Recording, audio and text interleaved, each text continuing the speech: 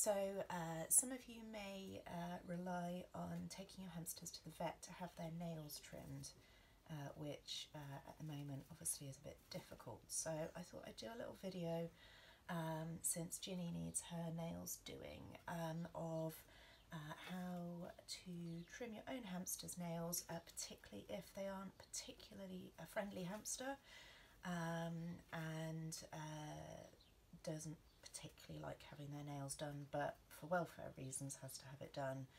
Um, so this video uh, isn't uh, about a hamster consenting to have their nails done because uh, Ginny is not a particularly friendly little girl. Um, but I thought maybe some of you might be uh, struggling with this uh, with your own little hammies. So um, the kit that you need uh, will be something to trim your hamster's nails with. So you can get hamster nail trimmers, you can, uh, in a pinch, use kind of dog nail trimmers.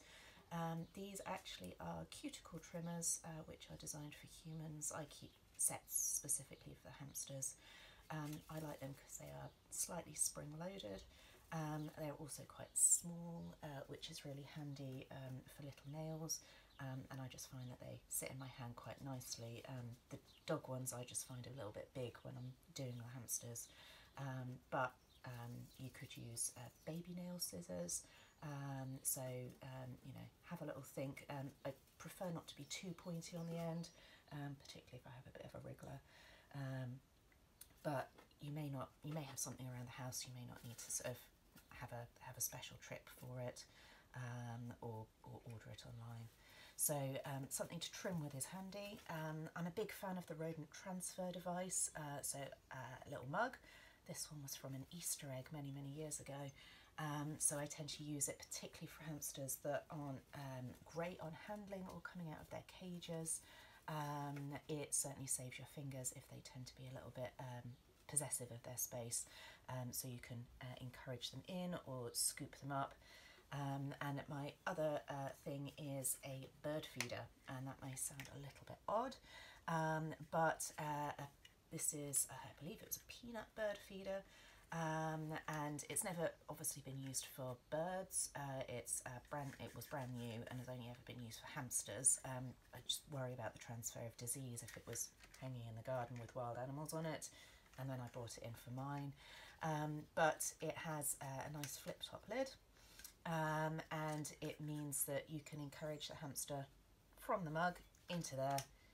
Then they are safe tucked in there um, and then you can trim their nails through the feeder.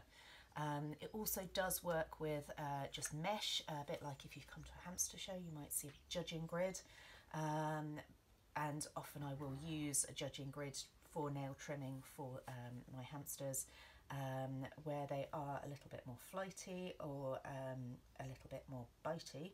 Um, I often prefer to have them where they can't just um, run off the grid and then splat on the floor. Um, so um, I find this does does do a job, good job. And this uh, bird feeder has been in use as a nail trimming device uh, for many, many years now. So the other thing you need is a hamster. Come on, Ginny. I know. Look at those nails, madam. There you go. So we will transfer you into the scoop. Scoop you up. There you go, princess. I know. There you go, darling. Good girl. And then into the feeder. Wonderful. There's a princess. So she is now clipped into the feeder and you may be able to see, but as she walks along, her little nails poke through underneath and then you can just nip a little bit off. Um, so uh, the, my top tips with uh, trimming nails is just to take tiny little bits off the end. So um, the blood supply um, is close to the, the toes and the paw and then um, most hamsters have nice white nails um, so often you can see them but obviously they're so small it is a little bit tricky.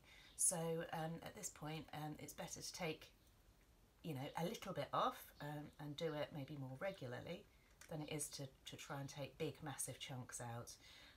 If it's sort of curling around, curling over, you could nip that off.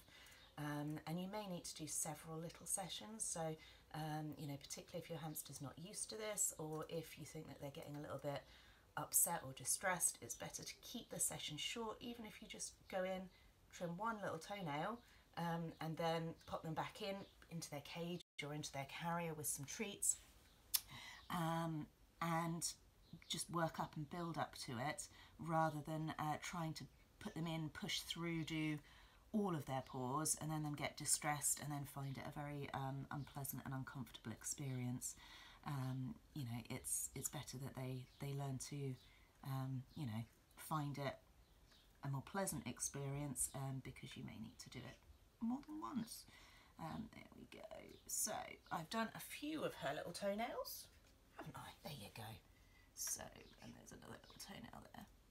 I often find trimming toenails a lot easier with Chinese hamsters because they just sit there and cling on. Um, whereas uh, a busy little hamster like Ginny, is um, a bit more of a challenge. So we kind of take our opportunities as we find them. Um, and uh, I'm not looking for kind of show standard nails here.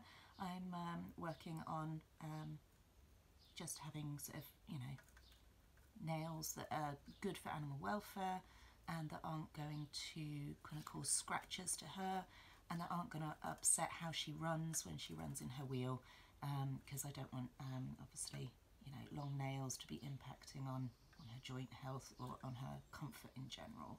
So yeah, so there we go. Good girl, Jenny. There we are. And so now the bonus of having the little flip top lid is then she can go back in her carrier and then I will go pop her back in her cage and I think she's earned herself a little treat for that.